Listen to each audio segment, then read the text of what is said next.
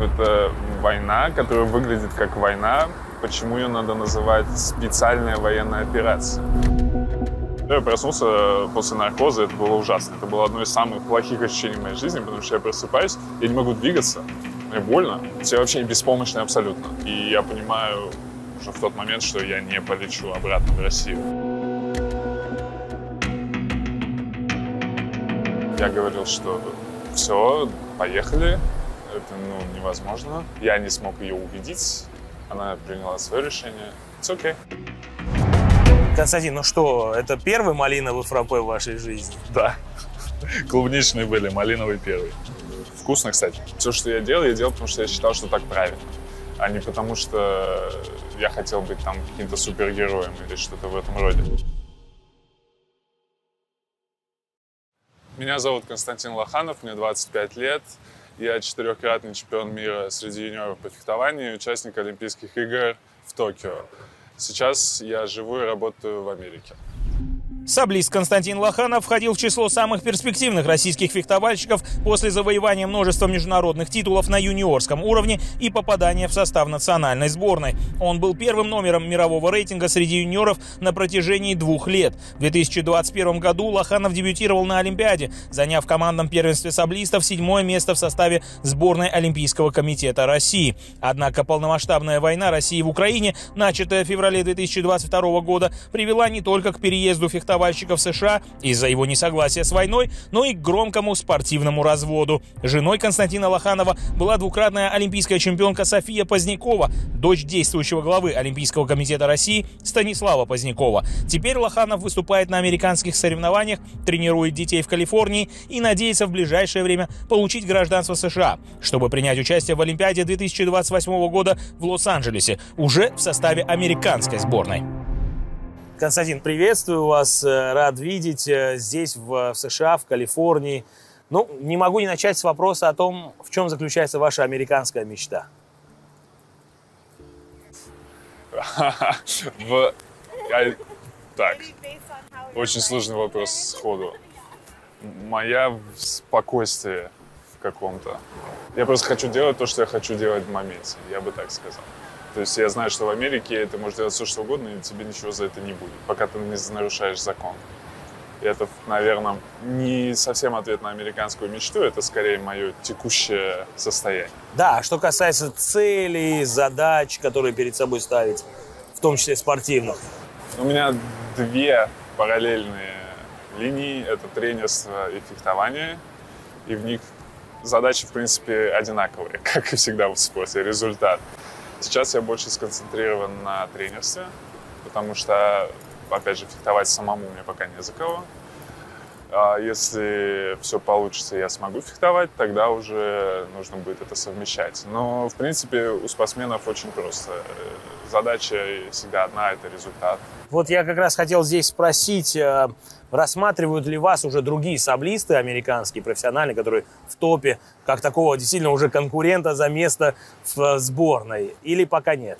Я думаю, что, наверное, пока нет. То есть я не знаю, я не спрашивал. А, но, опять же, пока я не гражданин США, я им не конкурент. Чисто по правилам. Ну, конечно, сейчас э, очень важно какое будет принято решение относительно предоставления вам гражданства, насколько для вас значимо, что не возникло никаких проблем с позицией Федерации фехтования США и Олимпийского комитета США, которые э, выступили с поддержкой, в поддержку и вас, и Сергея, и Виолетты Бида, э, с официальными письмами, направленными в Конгресс. Насколько это дает вам импульс? Это приятное ощущение поддержки, я бы сказал, потому что они не обязаны были это делать. Опять же, в интересах части, допустим, здесь взять отдельно Федерацию фехтования, то есть э, они сделали это ввиду своих э, видений жизни, я бы сказал. То есть они считают, что это правильно, и большое им за это спасибо. Но прекрасно можно догадаться, что часть людей не будет этому рад, потому что, опять же, зачем им лишняя конкуренция? Поэтому это было очень приятно. И это дало ощущение, что им не все равно, и они хотели бы нас видеть в своей команде. Вот в этих письмах официальных, э, в частности Фила Эндрюса, главы Федерации фехтования США, э, говорится о чрезвычайных обстоятельствах, жертвах и рисках, на которые пошли российские спортсмены э, в связи с переездом в США. Вот как вы видите, как вы можете охарактеризовать те риски, с которыми вы столкнулись, и риски, на которые вы пошли? Мне кажется, это проще сказать со стороны, чем изнутри, потому что все, что я делал, я делал, потому что я считал, что так правильно, а не потому что я хотел быть там каким-то супергероем или что-то в этом роде. Я часто слышу этот вопрос, и я никогда не знаю, что на него ответить, потому что в моей голове, ну, я как бы все просто сделал, как должен был, и типа, в чем жертва. Но если так разобраться, то, ну, наверное, да, то есть ты делаешь шаг, меняешь страну и так далее. Но, опять же, было сложно в моменте, но с каждым днем я понимаю, что это было правильное решение. И чем дальше, тем правильнее я его, более правильно я его ощущаю. Поэтому не знаю, мне кажется, со стороны виднее. Ну вот со стороны многие подчеркивают, что действительно вы оказались одним из немногих российских спортсменов высокого уровня, который э, осудил российскую агрессию э, в отношении Украины, уже полномасштабную войну, э, которая началась в 2022 году. Как вам удалось такое решение опубличить свою позицию? И вот э, что вы можете сейчас сказать о тех ощущениях тогда, в феврале 2022 года? Ответ примерно такой же. Это не было для меня сложно. То есть это было по ощущениям, как так должно быть. То есть, да, я там не в первый день что-то начал говорить, потому что мне нужно было понять, что я в безопасности для начала. Но, опять же, какого-то такого ощущения, что я вот как-то переступил через что-то, чтобы начать высказываться, у меня не было. Я чувствовал это абсолютно natural. Почему для вас вот оказалось несложно называть войну войной? Потому что война — это война, я не понимаю. То есть попытка переписать русский язык, а зачем? То есть это отрицательный рост и вот это все подобные вещи, но это просто глупо. Окей, можно как угодно это называть, но это война, которая выглядит как война. Почему ее надо называть специальная военная операция? Специальная военная операция не может длиться два года. Специальная военная операция длится там неделю, как я, в моем представлении. Ну, две недели. Самое простое — это называть вещи так, как они есть. То есть, если это война, ты называешь это войной. Все. То есть, опять же, я не вижу ничего сложного именно так совпало, что вы в момент нападения России на Украину находились в Германии на лечении в ожидании операции. Расскажите, вот э, как вот именно вот эти таймлайн так называемый сложился? Это, это интересно. Я должен был улететь в Германию, ну и улетел, собственно, 23 февраля. Я абсолютно случайно взялся. У меня два заграничных паспорта по закону разрешено, сразу говорю. Чтобы штампики а, У меня был один паспорт с европейской визой и один паспорт с американской визой. Я летел в Германию. Я не знаю, что меня побудило, какое у меня было подсознательное чувство. Я взял оба паспорта с собой. Я спокойно сел на самолет э, Москва-Мюнхен, аэрофлота.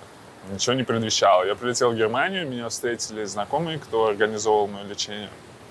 И мне надо было там, типа, полтора часа ехать до клиники. А, мы начали обсуждать, что происходит, и я с полной уверенностью говорю, да ничего не будет, типа, они просто там пугают, торгуются, ну, как они обычно, собственно, всегда до этого и делают. Все, мы сделали МРТ 23-го, сказали, что нужна вторая операция, и 24-го я с утра просыпаюсь, я вижу, что у меня телефон просто взорвался, миллион notifications, и я смотрю, что очень много сообщений от моего друга, который уже живет в Америке. И я просто лежал весь день, читал новости и шел. Не веря в ну, происходящее. Ну, зачем? Для чего? Это, ну, это абсурд. То есть, в моем понимании, война — это что-то из 20 э, и раньше веков. Это не современный способ решения вопросов. То есть сейчас, грубо говоря, вся политика решается просто деньгами и влиянием, интересами но оружие это просто бессмысленно, на мой взгляд. Но, тем не менее, это случилось, и 25-го с утра я приехал в клинику, а, и меня прооперировали. И все, я проснулся после наркоза, это было ужасно. Это было одно из самых плохих ощущений в моей жизни, потому что я просыпаюсь, я не могу двигаться, мне больно. Я вообще беспомощный абсолютно. И при этом еще и я понимаю уже в тот момент, что я не полечу обратно в Россию. То есть это было очень так быстро щелкнуло. Вот это щелкнуло, что не полетите Ой, точно э, уже э, после э, операции? Это щелкнуло, да, сразу. То есть там уже дальше был вопрос организационного характера, но э, щелкнуло сразу. Вы говорите, что у вас щелкнуло, но при этом вы были на тот момент женатым человеком, и, э, опять же, вторая половина ваша, София Позднякова, тоже должна была сделать выбор, да, определенный. Вот как у вас вот развивались эти события, как вы обсуждали с ней вероятность переезда вместе, э, что она говорила? Мы просто очень много разговаривали по телефону. Типа, каждый день по сколько-то часов обсуждали, что происходит. Я говорил, что все, поехали, это ну, невозможно. И все, и, и, грубо говоря, это были торги и переговоры. Ну, закончилось как закончилось. То есть я не смог ее убедить, она приняла свое решение. It's okay. А действительно были моменты, когда она готова была все-таки уехать? Я не знаю. Наверное. Ну, это сложно, когда ты разговариваешь по несколько часов, наверное, всегда какие-то сомнения в правильности решения есть. Но, опять же, есть решение. Какой там был мыслительный процесс, это уже дело десятое. Я понимаю из ваших слов, что вы нормально расстались с Софией, но вот э, да, на данный момент уже почти два года, то есть вот есть сожаление, что у вас так именно в личном, именно брак распался все-таки? Это вопрос выбора. То есть, э, я, скажем так, это нельзя рассматривать в отрыве от всего остального. А учитывая все, что происходит, и чем дальше, тем хуже, то я, опять же, как я сказал до этого, я каждый день убеждаюсь в правильности своего решения. И э, смотреть это в отрыве просто невозможно. Как вы считаете, вот просто вот даже гипотетически, если бы отец Софии не был главой Олимпийского комитета России, не занимал такую высокую позицию, другое решение могло бы быть? Я не знаю. Э, может быть, может нет. Но комментарии вашего бывшего тестя Станислава Позднякова, вы наверняка их в любом случае хотите, не хотите, замечаете. Как вы на них реагируете? Да это смешно. В большей степени это просто смешно. самое основное, что я вообще не понимаю, как родилась эта мысль про ФРП, самокаты. То есть у меня никогда в жизни не было самоката. Я не люблю ПП. То есть я просто логики не вижу. То есть, грубо говоря, он же меня знает, если бы он хотел как-то меня задеть, там, уколоть, еще что-то. Но я так понимаю, это такой самокатный ФП, собирательный образ, такой прогрессивной молодежи, свободных взглядов и так далее. Ну, можно было тогда что-то придумать непосредственно про меня, но нет. Не знаю, просто, просто смешно. Ну, наверное, опаснее немножко другие слова про то, чтобы главное не поперхнуться или не подавиться печеньками. Рассматривать ли это как одну из угроз, возможно, не лично от э, господина Позднякова, а вообще в целом от людей из России, которые осадили хейтом и вас, и Сергея, и Виолетту. Может быть, но опять же, почему я должен переживать по этому поводу? Ну, даже если это угроза, ну и что? Ну, хорошо. То есть, ну, опять же, а, суть решения о переезде и смене жизни, так скажем, в свободе говорить и действовать. Собственно, в основной американской ценности. И если я буду после таких полувыпадов в мой адрес как-то реагировать, то как в чем суть тогда была изначально?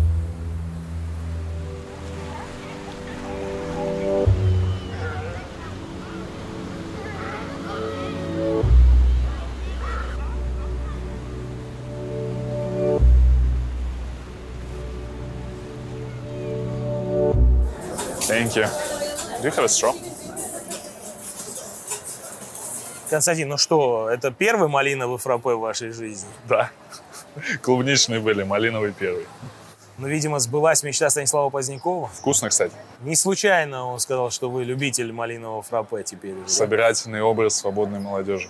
Еще были слова о том, что э, когда Станислав Поздняков комментировал действия своей дочери, что ей хватило там воспитания и любви к родине, чтобы не, не поддаться такому же примеру. Это тоже был дополнительный укол в ваш адрес или нет? Ну, наверное, но давайте разберемся. Родина от слова род, правильно? Это место, где ты родился. Я родился в Казахстане. По такой формулировке Россия не является моей родиной. А если, грубо говоря, где я вырос, да, но мне нравится свобода перемещений. То есть у меня всегда любил ездить в разные страны, летать все время куда-то. И у меня нет никакой конкретной привязки к конкретной стране. Я не понимаю, почему она должна быть. Мне кажется, это советская какая-то история, что надо быть патриотом своей страны. Ну, ну надо любить свою страну, наверное, но, во-первых, это должна быть взаимная любовь. Во-вторых, э, любить страну не обязательно ней. Ну, например, я люблю Японию, я люблю Корею, я люблю Испанию очень. Это не значит, что я должен там жить. Согласны ли вы с тем, что э, в вашем случае личное и спорт пересеклись, и вот что вылилось в этом спортивном разводе, так называемом, да, а, с учетом того, что вот э, ваш тесть а, руководит, теперь уже бывший тесть, руководит Олимпийским комитетом России. Сыграло это большую роль в, шум, в шумихе, которая вокруг вас образовалась? Фехтование не такой популярный вид спорта. То есть, грубо говоря, была бы такая же шумиха, если бы это была просто как бы обычная семья. Не знаю, наверное, нет. Опять же, ввиду того, что не так много спортсменов, кто уехали, может быть и да, я не знаю. Но, естественно, это катализатор такого, что это очень громко стало. Получается, что в войну вы э, лишились жены, в пандемию коронавируса вы потеряли маму, соболезную вам. Можно ли говорить, что вот вообще что-то было, что вам помогло пройти через эти испытания и начать все с чистого листа в США? За счет чего, как вы смогли через это пройти? Друзья. Мы просто висели часами на телефонах, и э, все мои лучшие друзья поддержали. Они сказали, что я все делаю правильно, это было важно в моменте. Но это все равно сложно. То есть в любом случае это так безболезненно не проходит, занимает много времени. Но да, то есть просто нужны близкие люди, которые поддерживают. Но опять же, в данной ситуации у меня было много близких людей, и они были разделены ровно пополам, поэтому было, было сложнее, чем могло бы быть. Но если какой-то искать заклинание, его нет. Но были, не называя поименно, люди, которые вас разочаровали с точки зрения реакции на ваше решение, то есть от которых вы рассчитывали поддержку, на поддержку, но не дождались? Или, в принципе, уже заранее знали, кто поддержит, а кто нет? Плюс-минус заранее было понятно. Плюс-минус. Нет, таких прям разочарований не было.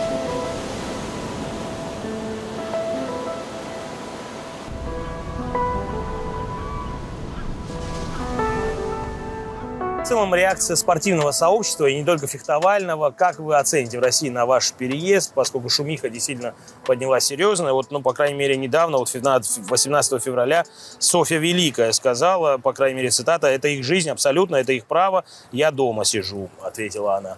Но вот как вы к таким вот комментариям относитесь? Ну, это абсолютно правильно. Типа, я сделал то, что я считал нужным. Моя жизнь, мое решение. Почему я должен кого-то спрашивать? То есть э, пока еще в Конституции Российской Федерации закреплена свобода перемещения, даже свобода слова есть теоретическая. Опять же, я не знаю, я не понимаю, чего люди хотят. То есть, ну, делают там выпады в наш адрес. А зачем? Ну, если вы так э, счастливы дома, как вы говорите, ну, так живите свою жизнь, мы тут вообще при чем? Не обращайте на нас внимания. Но если вы обращаете, это значит, что у вас не все так хорошо, как вы говорите. Но в какой момент вообще вы для себя стали осознавать, что вам вот э, душно становится жить в России, да, то есть вот э, все тяжелее и тяжелее с точки зрения того, что происходит в стране? Это сложно сказать, потому что я все-таки еще достаточно молодой человек. То есть, когда началась война, 20, мне было 23, и до этого на какие-то вещи я не обращал внимания, просто потому что ну, мне было не до того. Мне было там 17-16 лет, когда был Донбасс, мне было 15. Ну, мне просто не до того было. А потом, когда я начал обращать какое-то внимание, я начал что-то понимать. Когда я начал что-то понимать, я начал что-то изучать, смотреть, э, следить за Навальным, следить за его расследованиями, я четко понял, что это ненормально. Момент, когда все перевесило. Да, начало войны. А, все-таки вот именно начало. Да, потому что, опять же, я не беру Донбасс, я не беру Грузию, потому что мне было там 9 и 15 лет, соответственно. А потом все, что было, это был как бы вопрос э, свободы слова, вопрос свободы митингов и так далее. То есть это все такое, скажем так, гражданского толка вещи. Но когда уже началась непосредственно война и как бы со всем остальным бэкграундом, что я в принципе понимал, что все, что происходит, не очень правильно, там уже у меня было черное-белое. Там у меня уже не было никаких э, не все так однозначно историй. То есть все накапливалось по чуть-чуть, по чуть-чуть. Было просто осознание, но когда уже встал вопрос жизни и смерти, там уже все, уже надо выбирать. Мы разговариваем с вами спустя месяц после смерти Алексея Навального в российской колонии, э, на которую вы отреагировали очень активно, написали в соцсетях, что война – это не просто специальная операция, а убийство – это не просто смерть. Чем для вас стало вот это убийство Алексея Навального, смерть, э, доведение до убийства, как многие говорят, э, за все эти годы преследования Навального и отравления? Что это за поворотный момент? Это очередная вещь, которую все думали, что не может такого быть, но она случилась. То есть, грубо говоря, так же, как было с войной, то есть все думали, что это все так пугалки, но в итоге это случилось. И также все думали, что Навального закроют, соткнут, но ни в коем случае не убьют. Но в итоге и это случилось. Понятное дело, что еще не закончено расследование, что сейчас наверняка все этим занимаются, и мы позже узнаем, что именно случилось. Но это же вопрос политзаключенного. Если человека посадили ни за что, и он провел в ШИЗО там, почти 300 или сколько дней за год, ну, даже если он своей смертью умер, то во что я не верю, то это все равно доведение до убийства человека. Это показывает бесчеловечность. То, что с похоронами устроили. То есть, ну хорошо, у нас вроде как пропагандируются какие-то традиционные ценности, правильно? Ну, человек умер, дайте с ним проститься. Но даже из этого устроили какой-то непонятный сырбор, не отдавали тело и так далее. То есть, ну где традиционные ценности тогда? На ваш взгляд, э, говорит ли это о том, что еще больше будут закручиваться гайки, еще больше будут преследоваться люди инакомыслящие, которые не идут в одну ногу с государством в России? Как вы считаете? Да уже куда дальше. Ну, то есть всех, кто был активен, всех выдавили. Всех, кто не активен, все замолчали. Потому что столько статей, что можно сесть за что угодно. Я не вижу дальше, куда. Ну, может и можно, конечно. Я просто не хочу об этом думать, но опять же, как я сказал, если уже это сделали, то уже могут что сделать. Что вы испытали, когда увидели фотографии с концерта в Лужниках, ура-патриотического Z-концерта, в котором приняли участие э, спортсмены российские с нашивками Z? Э, какие ощущения тогда возникли в отношении э, еще бывших, недавних соратников по спортивному цеху в России ваших? На самом деле никаких. Если у человека все хорошо, он не хочет показывать, что у него все хорошо. То есть он просто живет, и у него все хорошо. А если нужно устраивать публичную какую-то показуху, значит, все не очень хорошо. Ну зачем, если, как они, по официальным данным, 80% людей поддерживают войну, как-то они, ну там другая формулировка, СВО, неважно, то зачем это пропагандировать, если и так уже все поддерживают. То есть пропаганда нужна, чтобы повлиять. А если, зачем влиять, если уже все хорошо? Значит, все не так уж и хорошо. Просто мы никогда мы не можем собрать точные данные и понять на самом деле. То есть примерно можно по каким-то косвенным данным понять реальный процент поддержки. Но точно посчитать невозможно. Как вы оцените вот этот выбор, перед которым стоят российские спортсмены, те, кто остаются в стране, остаются в системе, вот этот выбор между спортом и политикой? Хотя в России больше всех кричат, что спорт должен быть вне политики, но при этом все спортсмены, ну, многие, по крайней мере, участвуют в политических акциях, в поддержку президента и так далее. Спорт в России – это и есть политика. То есть э, как может быть спорт вне политики, если спортсмены финансируются за счет Министерства спорта? Это уже политика тех спортсменов, кто участвует в пропаганде, вопрос такой. Это они идейные, грубо говоря, они действительно поддерживают там, Путина, войну и так далее. Или они просто приспособленцы, которые не хотят потерять свою зарплату. Я не знаю, это, наверное, индивидуальный вопрос. Но если, скажем так, первые лучше вторых, потому что, ну, хорошо у вас позиции, с которой категорически я не согласен, но это хотя бы позиция. То есть это как бы люди, которые действительно так считают. А просто приспособленцы, ну, это ужасно. Вы, когда сюда приехали, а, вас рассматривают многие по-прежнему как российского спортсмена? Приходится что-то объяснять, вот вашу антивоенную позицию и так далее? Нет. Нет. Ну, есть social media, все все читают, и всем понятна моя позиция, поэтому зачем меня об этом еще раз спрашивать? Э, очень много было внимания к вашей фотографии с украинским фехтовальщиком Дарием Лукашенко и с украинским флагом. Э, это ваша была инициатива и вообще, в принципе, насколько важно было показать свою солидарность с народом Украины? Это была моя инициатива, но это получилось абсолютно случайно, потому что я не знал э, Дарья до этого. То есть мы просто отфехтовали соревнования, и мы встретились с ним уже возле подиума, там же познакомились, и там же решили, давай сделаем фотографию. То есть это было просто полная импровизация. Ну, в итоге, да, было правильно. То есть у него был с собой флаг, как я понимаю, у него для был церемонии? С собой флаг, да, и я увидел, и мы только познакомились. Я говорю, замечательно, давай сделаем фотографию. Вы хотели тем самым показать свою солидарность с народом Украины, который оказался под бомбежками и ударами? Да, показать позицию. Опять же, это больше я считаю, что чуть разные вещи. Антивоенная позиция по российской политике и поддержка Украины, с другой стороны. Это был жест поддержки Украины. То есть это с Россией не связано. Потому что люди под бомбами, и это страшно. Как вы думаете, тяжело, конечно, предсказывать, весь мир гадает, но есть ли надежда у вас лично, что это в ближайшее время прекратится, что война будет каким-то образом остановлена? Не знаю.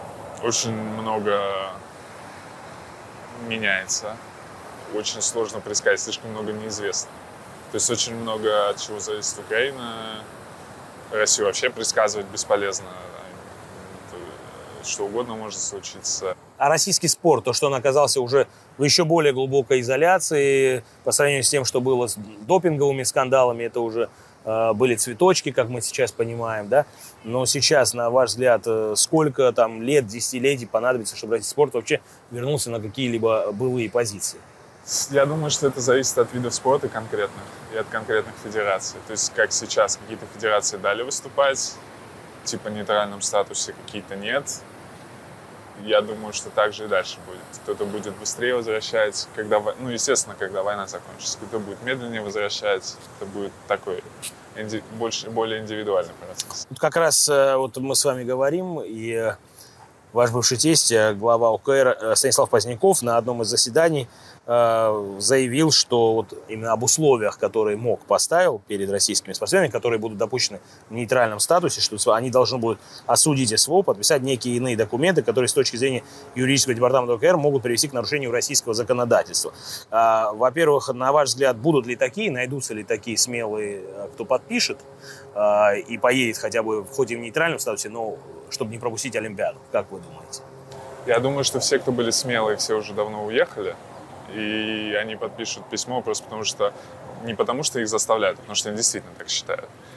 А внутри, кто находится, спортсмены, это будет решать э, ОКР, что им делать. Они, они не будут сами ничего решать, поэтому они и остались. Вам здесь для того, чтобы участвовать в американских соревнованиях тоже, и как и белорусским спортсменам, надо было подписать. Что было в этих бумагах, э, какие условия были? Осуждение войны, обязательное демонстрирование российской символики и так далее. Все. Ну, грубо говоря, у меня не было... Это мое мнение и так. То есть то, что мне нужно было это подписать, у меня не было никаких проблем с этим. Вернемся вот в Токио, 21 год, Олимпийские игры, которые в связи с пандемией были перенесены на один год, с 20 на 21. Вы, выходя на помост э, в Токио, э, насколько для вас было значимо или незначимо уже на тот момент, что вы не можете представлять э, Россию и выступать под российским флагом и, и без российского гимна, то, что вы выступаете? Мне абсолютно все Жизнь спортсмена – это, если мы не берем детства, взрослого спортсмена, это 10 лет плюс-минус, максимум 15. То есть говорят, что больше трех олимпийских циклов – это перебор. Просто психика уже ломается. Поэтому, в моем понимании, если ты спортсмен, ты занимаешься своей карьерой, то, опять же, за кого ты выступаешь, это не важно. То есть мне в этом плане больше нравится подход, опять же, частных лиг американских. И также то, что происходит в э, футболе. То есть, ну, сборная это здорово, но в основном это количество времени футболисты, например, играют в клубах и выступают за клубы частные. Вот эта история мне больше нравится, потому что э, я не понимаю, почему должен спортсмен зависеть от страны, почему он не может быть просто частным лицом, который делает то, что он хочет делать все самые успешные спортивные лиги мира частные. Это, наверное, о чем-то говорит. И там люди не выступают за свою страну, они выступают за клуб. Опять же, это тоже о чем-то говорит. Поэтому у меня никаких эмоций по этому поводу не было. Мне было все. Я выступал за себя в личных соревнованиях и за свою команду в командных соревнованиях. Моя команда — это четыре человека. То есть четыре саблиста. Мы друг за друга выступали. Ну, дальше, ну да, хорошо. За... Причем команду ROC. Ну, какая разница?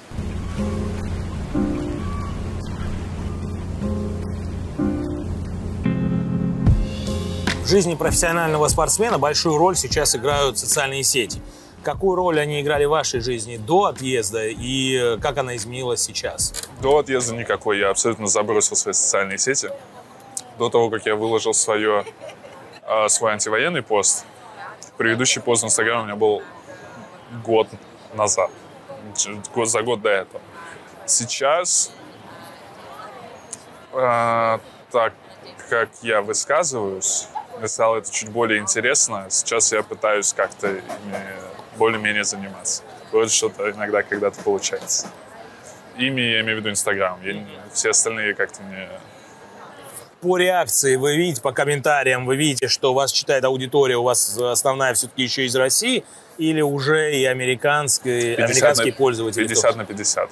Давайте посмотрим, что мы будем. Давайте. Последний месяц. Топ-сирис. Сан-Диего, Нью-Йорк, Москва, Сингапур. Mm-hmm. Топ да. countries, United States. Э, 45 с половиной, то есть почти, почти 50 процентов. Америка. Countries, да. Ну, H Но э, связано ли это с тем, что вы начали больше писать по-английски? Э, наверное, плюс... Э, это статистика за последний месяц. То есть было интервью в CNN. Естественно, оно был буст сильный. Но если брать более широкий промежуток, я бы сказал, что это, наверное, 45% Россия, 45% примерно Америка и 10% все остальные страны.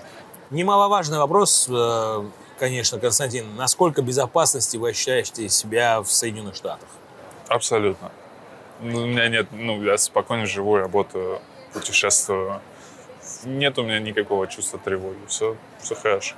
Я не Родченков, я не Навальный, я не Навальная, я не Зеленский, я не политик. Я думаю, что в этом принципиальная разница. Я спортсмен, который занимается своим делом. Ввиду войны история стала частично политичной, но я не политик, как они все. И в этом, наверное, принципиальная разница.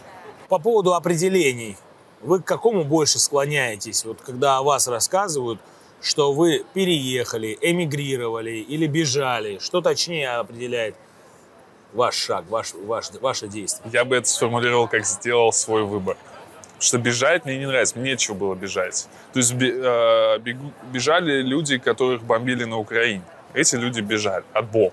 Это бежать. Люди, которых политически преследовали в России, они бежали.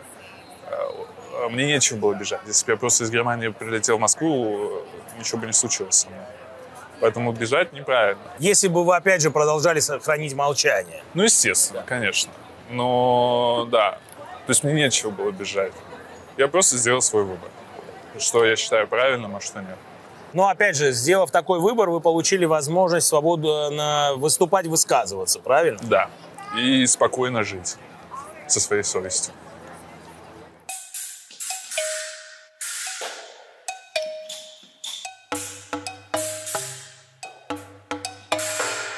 Константин, ну вот мы сидим а, в этом зале в Сан-Диего. Как вы здесь оказались? Э, как приняли решение тренировать? Тренировать это спонтанное было решение, а в целом я после Германии полетел в Атланту просто взять время, подумать, что будет происходить, посмотреть. И мне предложил работу знакомый Дмитрий. Я знал его лет 10, наверное, к тому моменту. Мы вместе фехтовали с его сыном одного возраста. И все, он позвал меня приехать, пообщаться, посмотреть. Я приехал, в принципе, сложно не переехать в Сан-Диего, когда предлагают переехать в Сан-Диего. Дмитрий Гай, в прошлом член сборной СССР по фехтованию, в 1991 году получил в США политическое убежище, побеждал на североамериканских соревнованиях и основал в Калифорнии клуб фехтования «Спартак». Сегодня это La Jolla Fencing Academy. Примечательно, что в советской сборной Дмитрий Гай, также саблист, выступал одновременно с нынешним президентом Олимпийского комитета России Станиславом Поздняковым, теперь уже бывшим тестем Константина Лоханова, а также с действующим президентом Национального олимпийского комитета Украины Вадимом Гуцайтом. Уже после переезда Дмитрия Гая в США Поздняков и Гуцайт вместе завоевали золото Олимпиады 1992 года в Барселоне в составе объединенной команды, состоявшей из представителей бывших советских республик. Судьба играет человеком, а человек играет на трубе. Действительно, э, Стасик Поздняков был мой teammate, он чуть-чуть моложе меня. Э, то есть он был мой младший, так сказать, teammate. И Вадик Гуцайт тоже моложе меня. И, в общем, мы выступали да, за Советский Союз вместе. И сейчас они э, по разные стороны баррикад. И э, Поздняков, да, президент Олимпийского комитета России, а Гудсайд президент Олимпийского комитета, вы правильно сказали, Украины. Недавно был министр спорта уже ничему не удивляюсь, как говорится. голливудский сюжет. Да, да, голливудский сюжет. В настоящий момент я, безусловно, поддерживаю э, Гудсайта Вадика и общаюсь с ним, и не поддерживаю ни Позднякова, ни Олимпийский комитет России. Вот, так сказать. А то, что Костя, еще и бывший тесть э, Позднякова, это как icing on the cake, знаете. К сожалению, человек превратился, вот, так сказать, в советского функционера. Делает ли он это, потому что он обязан это делать по роду службы, или он действительно во все это верит, черт его знает, я ума не приложу. Можно ли говорить о том, что война стала этой лакмусовой бумажкой, Безусловно. которая высветила и окончательно показала лицо вот всех тех, кто в Безусловно. системе? Я уже 24 года всем морочу голову, что добром это не кончится, что пришел очень опасный режим, понимаете. Но мне никто не верил. Ну, нет, некоторые верили, но никто со мной не соглашался. Да ладно, как-нибудь рассосется, как говорится. А вот после 24 февраля 22 года обычно, если они могут говорить, они говорят, а как же ты все знал? Ты же нам все это рассказал. А мы, так сказать, не верили. А все, что ты сказал, оказалось правдой. На что я говорю, это ладно, говорю. Будет еще хуже, не волнуйтесь. это мое следующее предсказание. Пока это не станет лучше, будет намного хуже. Да, поэтому да, э, пришлось действительно прекратить общение с огромным количеством людей. И опять же, хотя я прекрасно понимаю, что они просто не могут находясь там, что-то сказать по-другому, но для меня э, это недостаточно поэтому пришлось прекратить общение. Ну, во-первых, я считаю, что Константин э, очень западный человек, даже когда он жил в России. Он не согласен с войной, он не согласен с политикой сегодняшней России, которая, как мы видим, к сожалению, превращается или уже превратилась в Советский Союз. Он убегает, потому что все-таки, когда я подавал документы, уже Горбачев пришел, можно было подать документы, сейчас только можно убежать.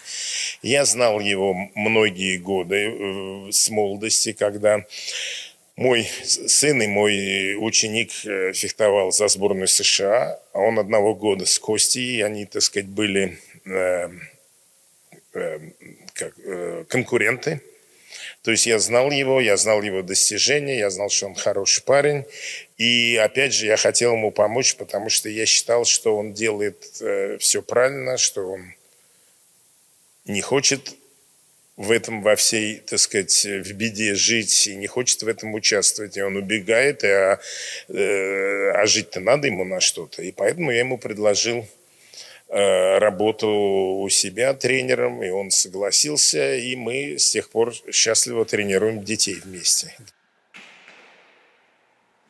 Это примерно то, что вы себе представляли, когда перебирались в США?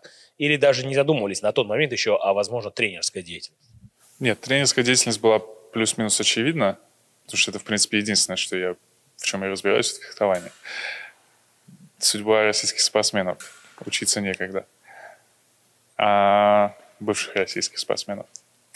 Ну а дальше по локации, в принципе, это было стечение обстоятельств скорее. То есть, конечно, здорово, если бы это была Калифорния, какая оказалась. Но, в принципе, там как как карта ляжет, как говорится. А, не могу не спросить, э, фехтование еще Мольер восхвалял как вид искусства, как э, необходимость нанесения ударов, избегая ответного удара. Э, но это вот на самом деле принцип, который сейчас можно применить и в жизни, и в войне. Как вы считаете, насколько вот задумываетесь ли вы о таких перекли... перекличках между спортом и реальностью, и войной, особенно в нынешнее время? Это стопроцентная перекличка, потому что, по сути, фехтование это и есть война, только она сейчас, грубо говоря, в рамках спорта и с правилами, но, в принципе, это то же самое, что была война там до появления огнестрельного оружия, правильно? Поэтому, в принципе, суть такая же. И суть и внутри фехтования это очень ощущается, потому что ты понимаешь, что да, у тебя есть правила, ты, конечно, не умрешь, ты просто проиграешь удар, там бой, соревнование, неважно. Но суть все равно такая же. То есть на тебя бежит человек с оружием и хочет тебя ударить. Тебе нужно что-то с этим сделать. Да, в рамках правил, но все равно. Иначе ты, ну, грубо говоря, аналогия, ты как бы умрешь, но просто в данном случае ты меньше теряешь, само собой. Но суть примерно такая же. И это один из принципов, который, по крайней мере, я объясняю детям. Когда они Опять же, некоторым детям сложно, они разные, кто-то понаглее, кто-то скромнее и так далее. Но я часто им говорю, что другой человек хочет вас ударить и хочет вас победить. Если вы не будете сопротивляться, он это сделает, и ваше соревнование закончено. И это, в принципе, аналогия прямая с войной. Не сопротивляешься, ты проиграл. Ну вот и насколько в данном случае психология играет большую роль. Потому что, то есть даже, ну, опять же, как в войне, да, психология э, соперников, она тоже играет большую роль. Вот как вы оцениваете роль психологии? В фехтовании 90% это психология. 5% фехтования, 6%, 4% физическая подготовка. Но 90% это исключительно психология, потому что спортсмен может быть сколько угодно сильный, он может прекрасно все уметь делать технически – но если в стрессовой ситуации, а будет стрессовая ситуация соревнований, чем выше уровень, тем они еще более э, с, с, дают больше стресса. Если человек под стрессом не может сделать то, что он должен сделать, даже если он технически это умеет прекрасно, он все равно это не сделает, просто проиграет. Здесь очень много спортсменов, которые очень сильные на тренировках, с ними действительно сложно, но на соревнованиях они сдуваются, они не могут ничего делать. Опять же, потому что стрессы блокируют. То есть, грубо говоря, самый простой пример есть мужская сабля. Последние три Олимпиады выиграл один и тот же человек в личных соревнованиях, что было просто невозможно. Но он это сделал. То есть, получается, он выиграл в Токио свою третью подряд, но к этому моменту он ни разу не был чемпионом мира в личных. Потому что у него непонятно как, но именно к Олимпиаде он один из тех, кто готов. Есть большая разница в школах российской, бывшей советской и сейчас американской. Что вы видите именно в подготовке? Э, то есть, опять же, может, где-то психология больше поддается, где-то, например, меньше поддается психология, а больше физическая выносливость. В принципе, разница небольшая, потому что фехтование в Америке начали люди, которые приехали сюда из Советского Союза. То есть это советская школа, которая, грубо говоря, до сих пор существует, и она так и идет. Единственная разница, что в Америке есть микс, то есть сюда приехали те, кто приехал с Советского Союза, тут начали все это движение. Но, тем не менее, все равно были люди, которые приезжали из Венгрии, из Румынии, из Франции, из классических фехтовальных стран. Поэтому чуть больше микса. Сейчас э, последние там, 15-20 лет это азиатские страны, которые раньше тоже не умели фехтовать, но сейчас они очень сильные. А, то есть разница, опять же, в этом миксе. Но помимо того, по, по психологии, на самом деле разница фундаментально в фехтовании, в, в разнице фехтования в странах. То есть в Европе, в том числе в России, фехтование – это работа. Это основной твой род деятельности. Здесь фехтование – это дополнение. Почему оно так популярно на детском уровне? Потому что это помогает поступить в лучший университет. Здесь человек фехтует, что он хочет. Он закончил фехтовать, если он вдруг больше не хочет. Он получил хорошее образование, он идет работать куда угодно. И, то есть чуть больше свободы, потому что есть выбор. У тебя есть какое-то будущее после фехтования. А какие, какое будущее, например, после фехтования в России? Тренер? Госдума. Давайте возьмем среднестатистический фехтовальщик. Госдума — это для лучших фехтовальщиков. Среднестатистический фехтовальщик — тренер, мелкий какой-то чиновник, Госдума — это не туда, и все. То есть я не знаю других примеров. Люди либо остаются в фехтовании, либо около спортивном чем-то. Но опять же, это надо уже быть чуть-чуть как бы выше уровня. Все. Здесь у тебя будущее любое какое ты захочешь, потому что, опять же, они не пропускают стадию образования. Тут э, вопрос еще такой. Вы как раз упомянули аспект э, советской школы, которая сюда советские специалисты США перебирались. Сейчас можно ли говорить, что на фоне вот этой войны, агрессии против Украины, что вот эта утечка фехтовальных мозгов, не научных, а именно фехтовальных, она получит какой-то новый импульс, и что вот вы среди первых, но будут еще последовать? Я не знаю, у меня нет такого ощущения. То есть я на данный момент уже два года войны идет. Я знаю, помимо вот нас троих, а, еще одного человека, и все. Опять же, я говорю за саблю сейчас, за тех, кого я лично знаю. Может быть, в других видах уже другая ситуация. Но в сабле я не вижу никакого массового оттока. И так как я с некоторыми своими лучшими друзьями, с которыми мы там росли вместе, общаюсь в России, их мало, но они есть его не предвидится, этого оттока. К разговору о том, могут ли быть допущены в дальнейшем российские спортсмены к Олимпийским играм и к чемпионатам мира уже под флагом России. Если это случится, то какие у вас будут чувства, когда вы выйдете фехтовать против своих бывших соотечественников? Никаких. Потому что в этом и прелесть фехтования. Это бой. Грубо говоря, одного человека против другого. И какую бы страну вы не выступали, может, это твой друг. Но если вы попались, тебе нужно его выиграть. То есть это достаточно часто происходит, там, грубо говоря, международное соревнование, там 200 человек, и два человека, которые там лучшие друзья, бац, и друг на друга попали, просто по результатам жеребьевки. Но у тебя нет выбора, тебе нужно выиграть, даже если это твой лучший друг.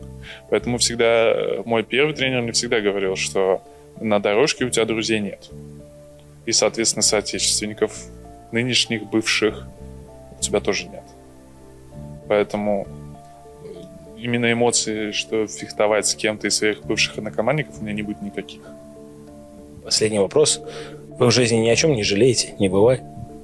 Я думаю, что с философской точки зрения возможно, но с точки зрения всех последних моих принятых решений нет.